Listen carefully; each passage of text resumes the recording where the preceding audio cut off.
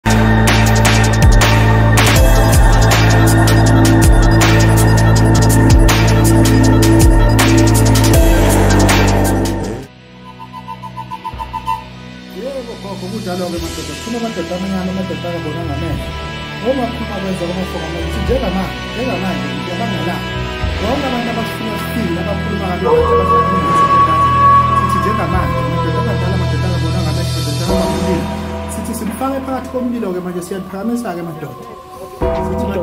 ngoba le nto siyifaka emzimbeni wakho ayisigubhile sasikwazi ukuhamba silanda imali kodwa sizokwazi ukuthi sihamba sikufunele abantu abazokunika imali uma unebhizinisi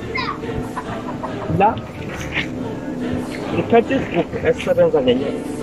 lapho unakhona ucingo lwekhosazela bavezela abakhulu latholakala khona abafana abafishane ya